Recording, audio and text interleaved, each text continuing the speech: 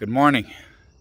It's March 28th, about 4.30 in the morning, and we are at the full moon of the Loki moon, the trickster moon. We just came through the three giantess maidens of the Fimbulwinter, the mighty winter. Mid-December, I think it was around December 18th was the first full moon. Then in January had the second full moon, uh, the second giantess maiden. And then in February, you had the third giantess maiden, the full moon. The three giantess maidens of the Fimbulwinter. We've spoken about this in videos. We put this into our books.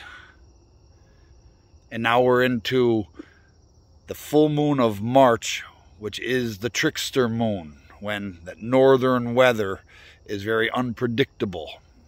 It transitions, it tricks you. The Loki moon.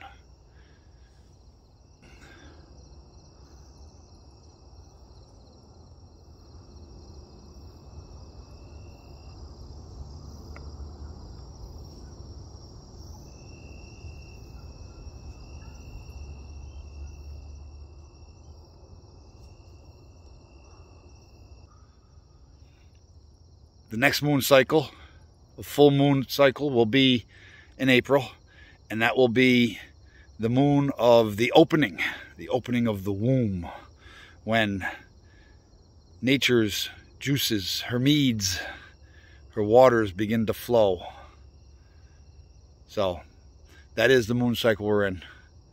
This is the full moon of the trickster, the giant called Loki. Tils nästa gång. Good hälsa.